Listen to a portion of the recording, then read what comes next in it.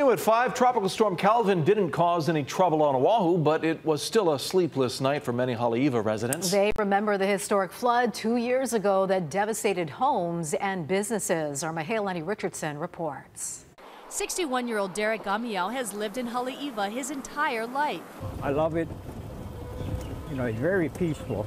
Except during heavy rains.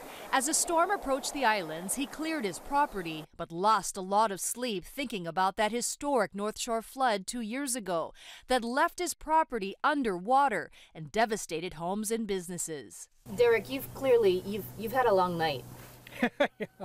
yeah, after worrying about what's going to happen, you know, everybody's tired over here. Nobody can sleep. We're just thinking about what's going to happen. Uh, after going through this three times in my life. Over the years, this is called Paukauila River. This river has become choked with invasive mangrove and debris. Residents say the width of the river is supposed to be as long as this bridge, but it's become more and more narrow. You could actually see right here, you could see the ocean.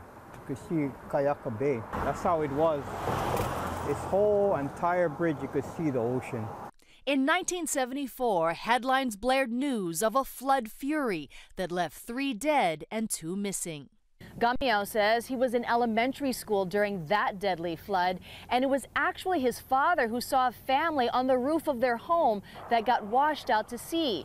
Then he learned one of his classmates was lost. A child was lost here because of a flood. Do you still think about that child? Oh, yeah, all the time.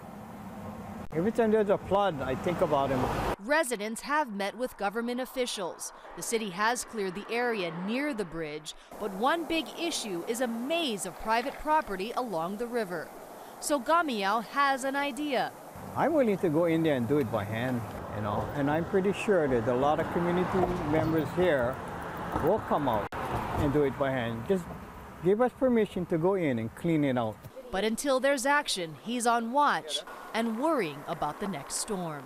In Haleiwa, Mahealani Richardson, Hawaii News Now.